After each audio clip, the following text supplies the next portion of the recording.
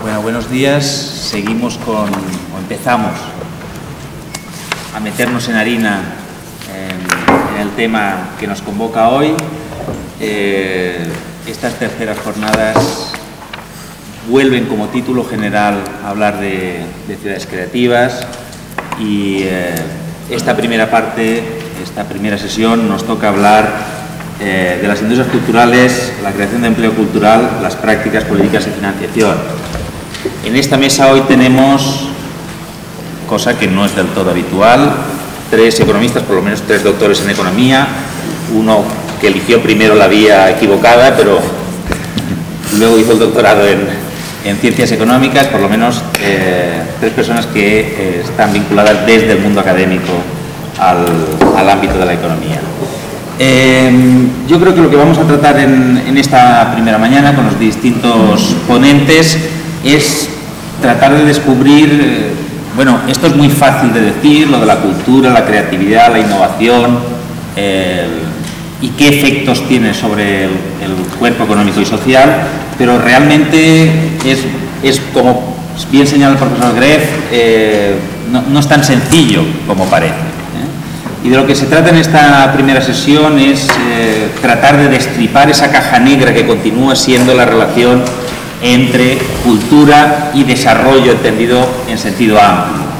Hasta ahora eh, la cultura era aquella parte ornamental del hecho social, aquello que hacía bonito, más o menos bonito, y por tanto los errores no dejaban de ser errores de estética. ¿eh? Ahora estamos hablando de una nueva relación donde los errores ya no son errores de estética, sino son errores estratégicos. Y esto nos obliga a todos aquellos agentes que participamos de manera directa en la reflexión, en la acción, sobre el hecho cultural eh, a ser mucho más responsables.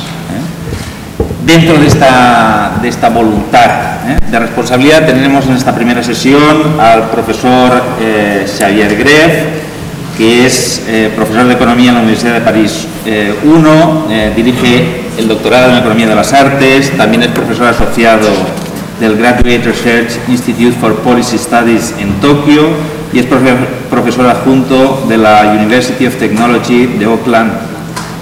Ha sido investigador asistente en Los Ángeles y profesor en París 13, Argel y París 1. Durante 12 años ha trabajado en la Administración francesa como director de nuevas tecnologías en el Departamento Nacional de Educación, así como director de capacitación y aprendizaje en el Departamento de Trabajo y Empleo. Por tanto, la cuestión, que es una de las variables clave, la relación entre el empleo, cultura, empleo eh, y, y, espacios urbanos y crecimiento económico e impacto social, eh, indudablemente va a tener eh, una visión muy clarificadora. Le cedemos la palabra al profesor Xavier. Sí, bueno, muchas gracias. Eh, buenos días a todos y yo quería eh, agradecer a la Fundación Creanta primero y a la ciudad de Zaragoza y a Félix también para su invitación.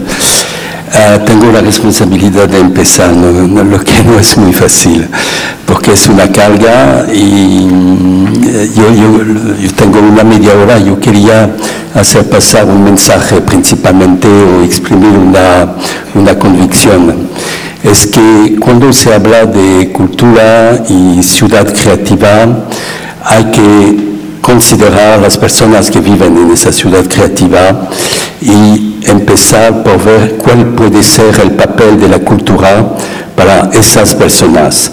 Naturalmente que el turismo cultural es muy importante, naturalmente que hay una dimensión, vamos a hablar de eso, de la clase creativa, pero a mí a través de los trabajos de las uh, investigaciones que tengo, me parece más y más que el enfoque principal debería ser de tomar en consideración las necesidades de las poblaciones locales y entonces de uh, construir una estrategia artística y cultural de la ciudad que toma en cuenta, en cuenta todo eso. Yo voy a hablar en español, lo que no es muy frecuente, no es muy frecuente para mí y quizás tendrá unos errores sobre el PowerPoint. Eh, yo quería eh, hacer tres puntos sucesivamente.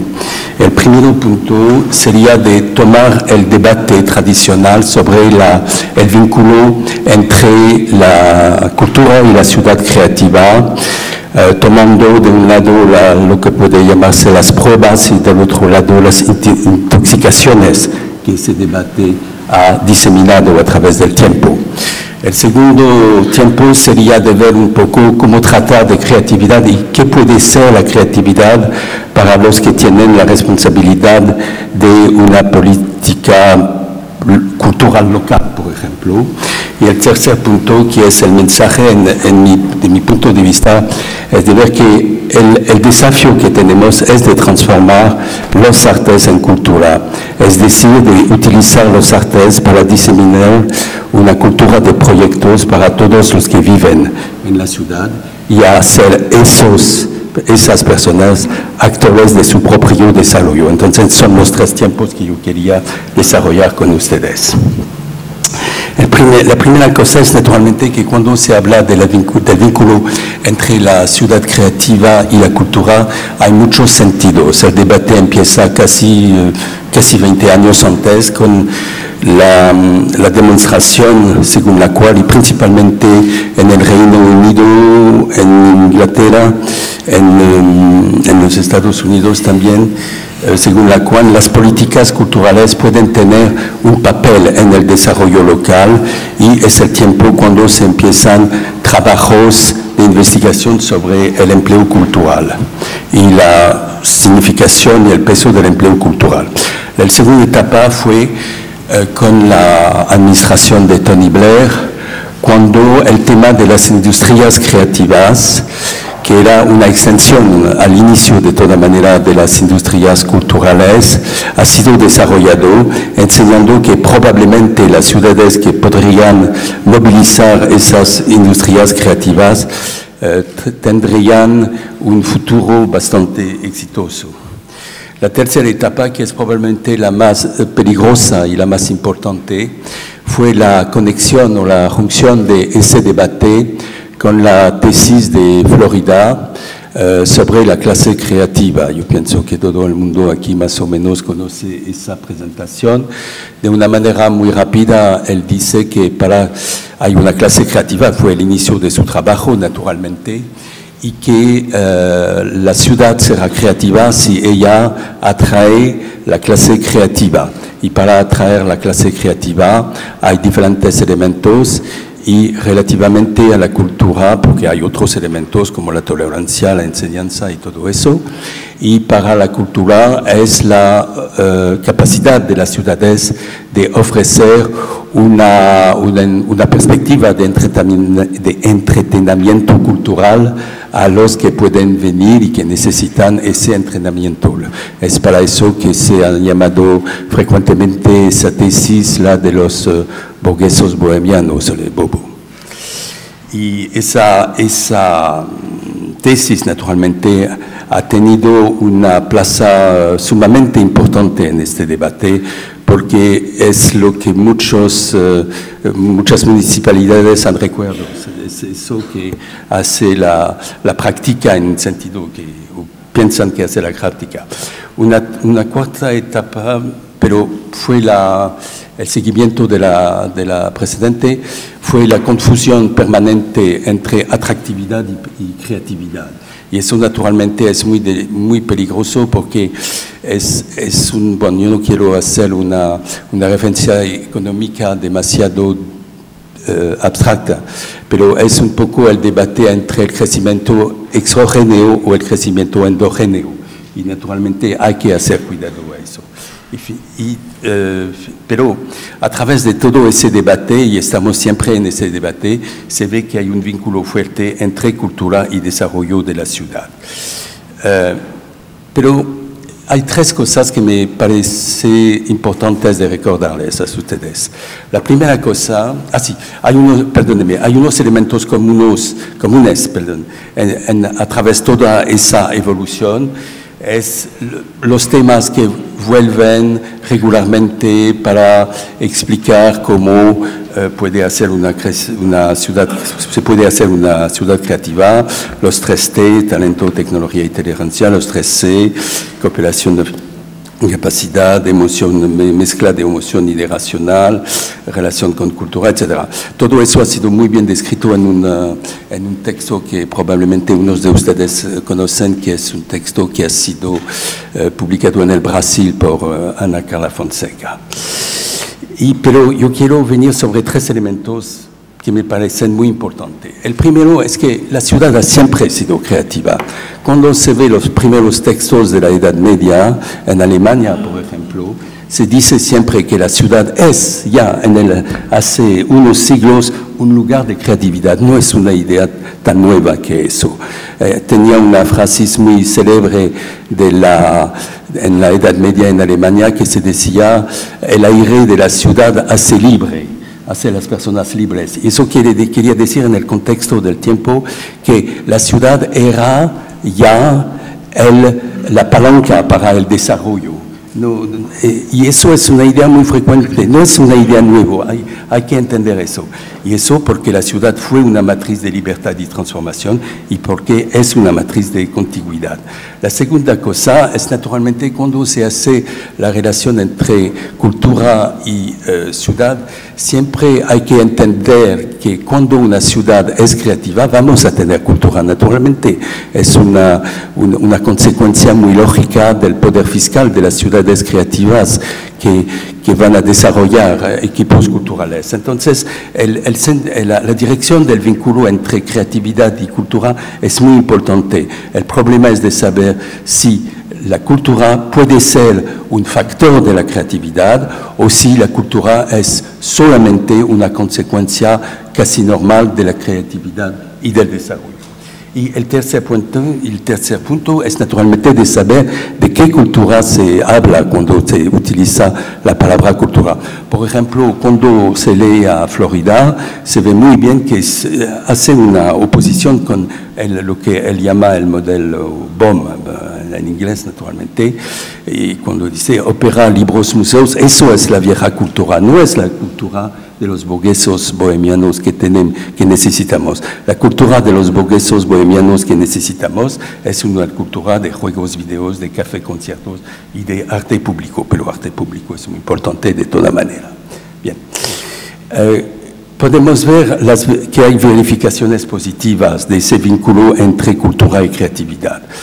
Eh, a través, yo no voy a detallar eso porque sería demasiado largo, el turismo cultural, a través de las industrias culturales y creativas, a través del loftscape o del cambio del paisaje urbano como un paisaje cultural urbano, a través del arte público que que está muy ligado del a, a, través de los distritos culturales y todos los trabajos académicos que han enseñado que cuando hay una aglomeración de pequeñas o más o menos pequeñas empresas culturales, podemos entonces tener una palanca de desarrollo para la ciudad.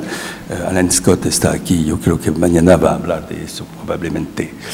Uh, y naturalmente a través de todos los trabajos que han, que han, enseñado que las principales ciudades del mundo que se desarrollan tienen naturalmente siempre un sector cultural muy fuerte.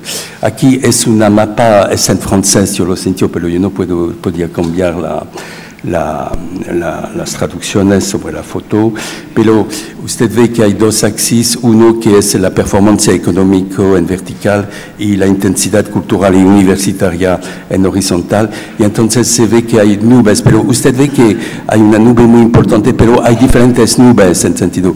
Entonces la vinculación no es tan automática que se crece. Probablemente hay una correlación muy fuerte, pero la relación de causalidad no es tan fuerte como se cree. Podemos volver después sobre eso. Hay muchas ciudades de España aquí, pero yo he verificado, no tengo, no tengo Zaragoza. Yo lo siento mucho para los habitantes de Zaragoza. Pero eso va a venir, eso es una cuestión de tiempo, probablemente. Bueno, cuando se vean las verificaciones de ese vínculo entre eh, cultura y creatividad, tenemos unos elementos muy positivos para enseñar y probablemente para enseñar que el vínculo de causalidad puede ser fuerte. Pero tenemos otras verificaciones que no, son, que no están tan fuertes y que enseñan también que el vínculo no existe o que hay que tomarlo en la otra dirección. Es decir, no considerar que la cultura es el factor, sino la consecuencia de la creatividad. Hay las tesis, por ejemplo, de... Eh, yo, yo yo tengo muchas demostraciones de eso aquí, yo no quiero enseñar demasiado, yo voy solamente a dar dos o tres elementos. Por ejemplo, en los Estados Unidos eh, se han visto que durante los 10 años las ciudades que han, que han tenido el crecimiento el más importante no son tantos las que tienen el número de artistas o de industrias culturales eh, sistemáticamente el más importante. Eso es lo que se quiere decir. Hay un otro eh, estudio del Banco Mundial que enseña que el papel realmente determinante es la enseñanza superior y la investigación. En Francia hemos hecho una, una investigación en, el Centro de Investigación de la Sorbona y hemos enseñado que el vínculo cuando existe, existe solamente para las ciudades que tienen más de 400.000 habitantes, lo que ya es en Europa es una dimensión relativamente significante. Y también en Japón se ha enseñado que eh, sobre un gran número de ciudades, más de 250, se ve que el factor principal es el poder financiero de la ciudad, no es el número de artistas. Y se creía que era el número de artistas.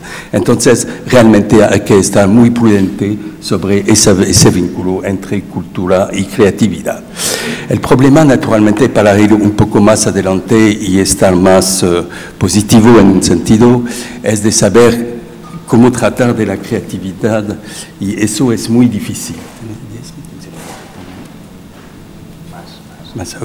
Cómo tratar de la creatividad.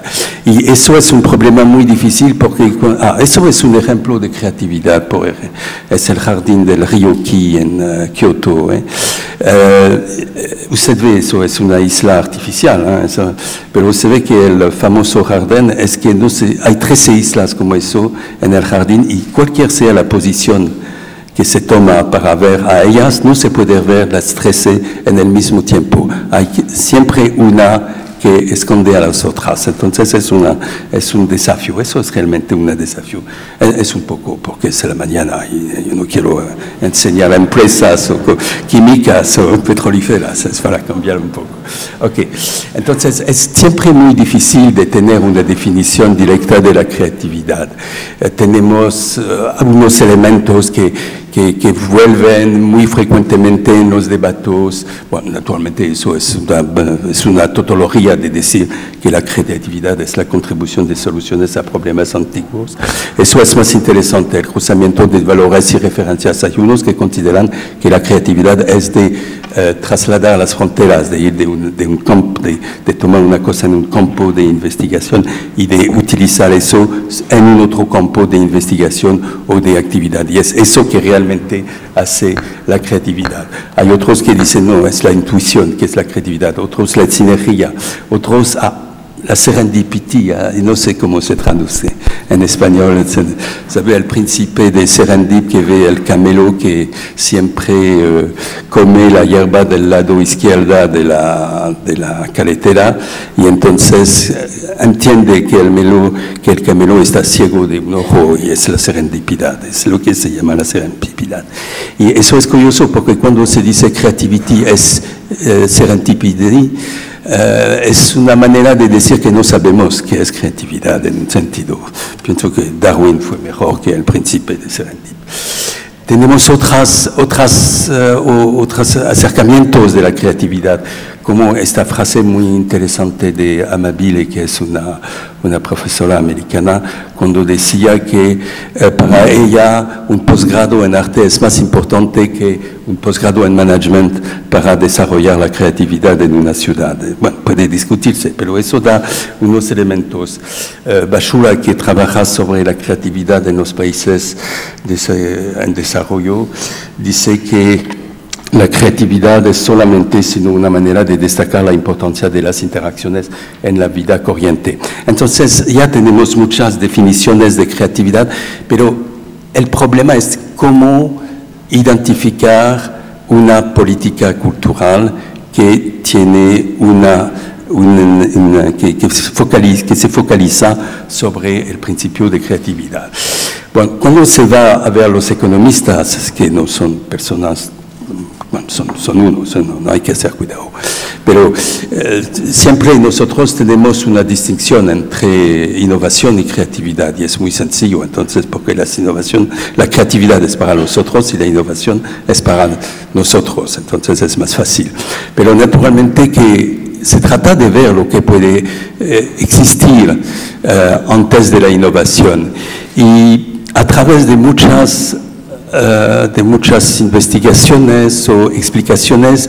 Hay una que probablemente es muy importante cuando se ve al, vínculo, cuando se considera el vínculo entre la ciudad y la creatividad, es la idea según la cual, y es la idea de la, de la Edad Media en un sentido, según la cual el aire de la ciudad puede contribuir al desarrollo. Naturalmente que no es el aire solo, pero es la atmósfera que puede existir en una ciudad que puede entonces facilitar la creatividad y el desarrollo. Y entonces la ciudad se ve como un conjunto de oportunidades en términos de información, competencia y modelos.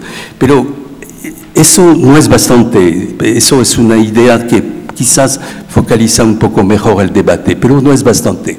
Yo, yo que lo creo principalmente es que cuando se ve a la al, desafío de la credibilidad, hay que hacer una distinción entre lo que se llama, y los japoneses han hecho una distinción muy importante desde ese punto de vista, la cultura de proyectos y la cultura de empresas. Naturalmente que cuando vamos a considerar la creatividad y los efectos de la creatividad es en términos de empleo y de ingresos. Entonces hay que tomar en cuenta lo que explica la presencia, el nacimiento o la sostenibilidad de las empresas. Pero se sabe que no todo el mundo va a ser un empresario, eso es seguro. Pero se sabe también que un territorio que va a desarrollarse es un territorio donde se distila y disemina proyectos nuevos y donde todas las personas, cualquier sea su plaza en la ciudad, pueden pensar en términos de proyectos. Eso es muy importante. Y a mí me parece muy importante de decir que hay una diferencia aquí entre lo que se llama una cultura de proyectos y una cultura de empresas. Empezar, tenemos que tener una cultura de proyectos, eso es muy importante. Todo el mundo no estará el empresario de su propio proyecto o de los proyectos de los otros, pero el éxito de la ciudad dependerá de la aceptación de los proyectos, de la capacidad de todos los que viven en la ciudad de hacer esos proyectos. Eso es muy importante. Y yo creo entonces que el papel de la política cultural va a ser de diseminar esa cultura de proyectos. Después hay que hacer otras cosas, naturalmente. Hay que hacer vínculo entre la universidad y las empresas. Hay que hacer muchas cosas.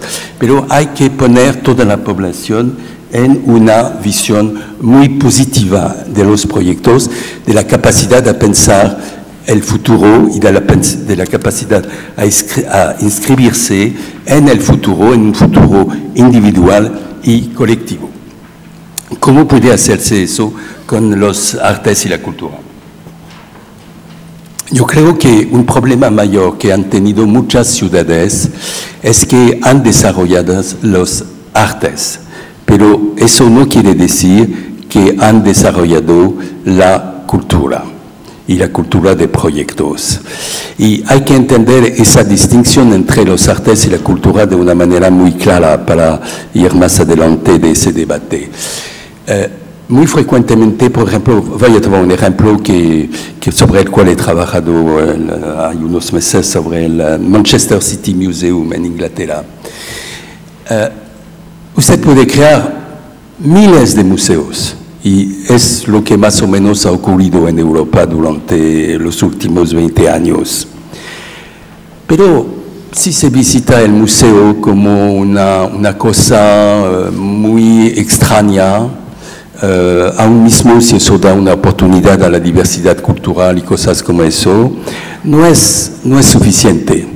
Lo que importa es la manera de visitar al museo, la manera de enseñar que cada obra o cada artefacto, no, solamente obra de arte muy, muy excepcional, fue una solución a un problema.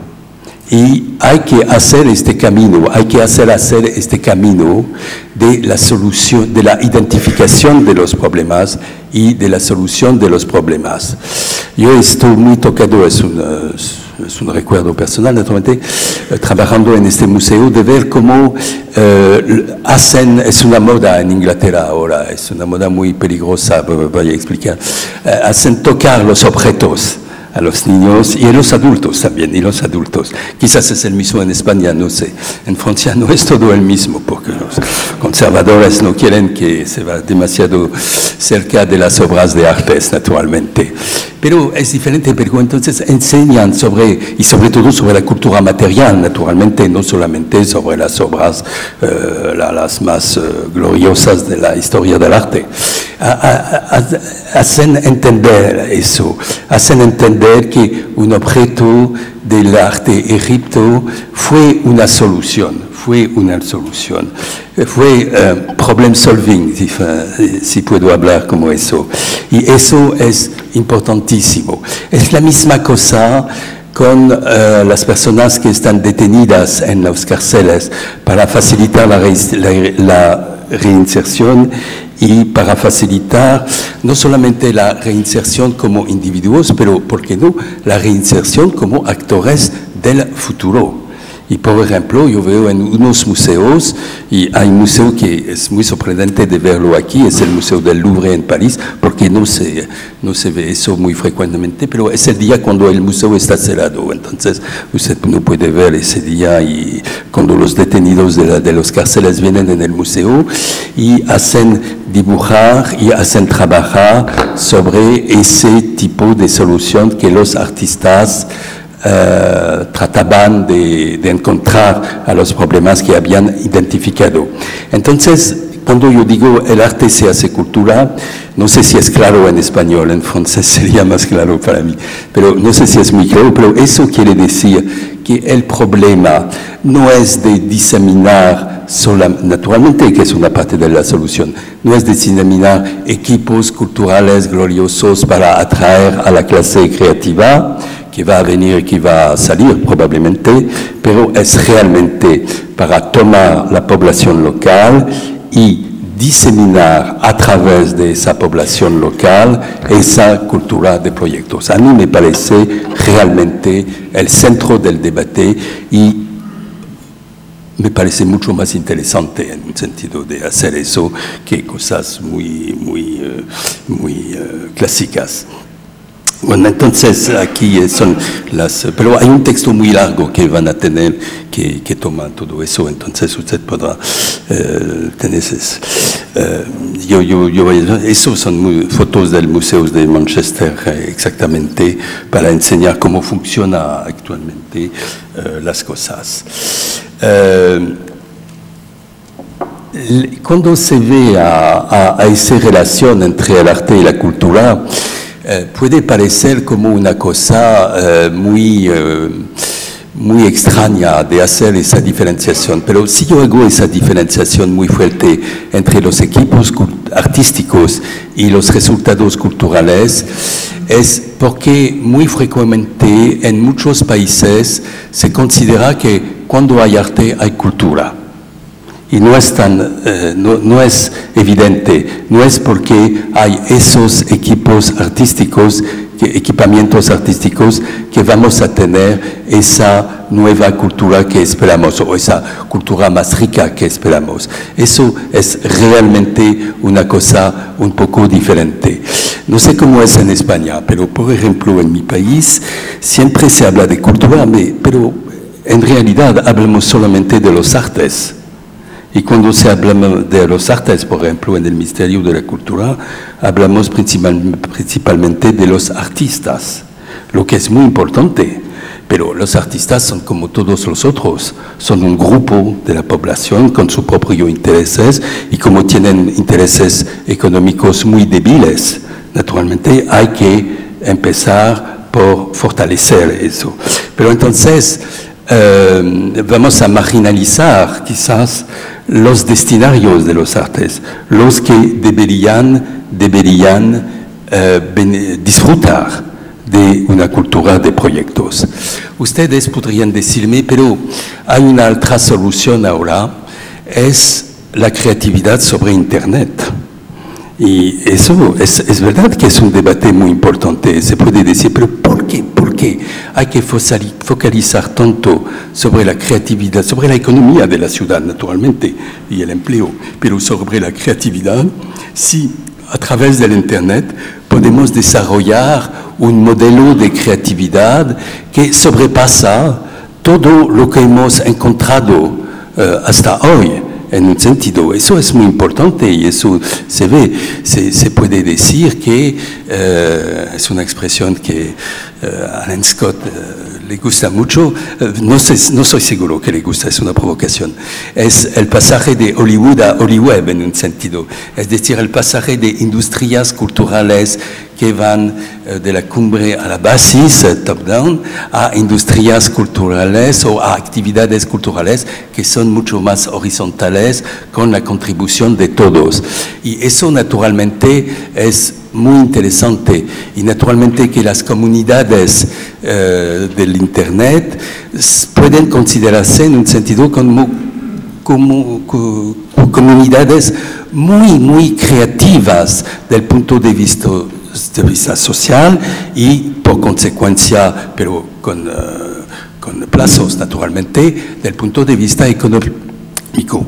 Pero lo que vemos también, y eso es una cosa, es que esas comunidades sobre el Internet son muy homogéneas y no tenemos tanta mezclaje, no tenemos tanta diversidad. Creemos que tenemos eso, pero ahora hay estudios que empiezan, bueno, en todos los países naturalmente, y que tratan de medir a la variedad de esas comunidades y vemos que no es tan importante. Y lo que es interesante es una comunidad que tiene una basis territorial, naturalmente, es de tener esa mezclaje, es de tomar en cuenta esa mezclaje. Cuando se habla de diversidad cultural hoy y mucho menos de accesibilidad cultural. Hace 20 años en Europa se hablaba solamente de accesibilidad cultural. Hoy se habla principalmente de diversidad y de respeto de la diversidad cultural. ¿Qué queremos decir? queremos decir que la creatividad viene de la transgresión de los campos, de la del mezclaje de las diferentes culturas materiales. Se ve, por ejemplo, en Europa, y ahí las estadísticas son muy fuertes sobre eso, que las lo que se llaman las minorías etnográficas, eh, las minorías, Uh, no, tengo la palabra buena en español y hay que hacer cuidado con esa palabra. Pero las minorías uh, son muy creativas en términos de empresas, son más creativas que uh, las, la, la, las, categorías muy tradicionales. ¿eh? Es, eso se ve muy bien. Y entonces, cuando se dice que hay que diseminar una cultura de proyectos, naturalmente que todo el mundo debe ser parte de la cultura de proyectos. No he hablado aquí del riesgo de la uh, gentrificación o segmentación o cosas como eso que se conoce bastante bien, pero es el problema, es el riesgo de una política cultural que quiere hacer la ciudad creativa en el nombre de eh, de la clase creativa. Es que va a hacer las cosas realmente más difíciles en estos términos. Van a marginalizar la población local y en la población local van a marginalizar también las comunidades y las minorías. Entonces hay que hacer muy cuidado a eso y es la convicción que yo, yo tengo y como economistas, no como ciudadano o, como ustedes, como economistas. es que una ciudad, la cultura puede hacer la ciudad creativa si ella toma en cuenta toda, todos los que viven sobre el territorio correspondiente y si moviliza todos los que viven sobre el territorio en una visión de proyectos. Eso es el más importante, porque si cada uno aclimata para él, si interioriza para él la dinámica de los proyectos, la manera de pensar en el futuro, entonces cualquier sea el problema que va a encontrarse en términos de relación con la clase creativa, en términos de sostenibilidad de empresas, en términos de localización, de localización o relocalización, vamos a tener soluciones. Entonces, eso es una convicción y realmente es una convicción muy fuerte, no, no solamente a través de, de, de, experiencias, pero también a través de verificaciones. Y entonces puede hablarse de distritos culturales de una manera muy positiva, porque los distritos culturales van a integrar todo el mundo, van a integrar el saber hacer de vez en cuando tradicional que existía, van a integrar todo. Y finalmente me gustaría terminar sobre una, una cosa, uh, no es sobre la presentación. Cuando se habla de la política cultural para la creatividad, no hay que olvidar lo que se llama el patrimonio inmaterial. Eso es muy importante. Eso es nuestro sesgo de las políticas culturales en Europa, es siempre de hablar en términos de grandes equipos. Y hay que hacer eso. Yo no voy a, contestar eso naturalmente de, una manera realística, ¿eh? no, de una manera excesiva. Pero el problema es que cuando... Um, olvidamos muy frecuentemente el patrimonio inmaterial y es ese patrimonio que siempre hace una, un vínculo social entre, quizás no todo el mundo, pero por al menos unas comunidades y si se explica esos vínculos se puede hacer más. Es para eso que, por ejemplo, cuando se ve a los museos, lo que me parece muy importante hoy es decir que un museo no debería ser más un lugar donde se ve admirar las colecciones, pero realmente debería ser un lugar de diseminación de valores positivas para el desarrollo y principalmente en términos de cultura de proyecto. Muchas gracias por su atención.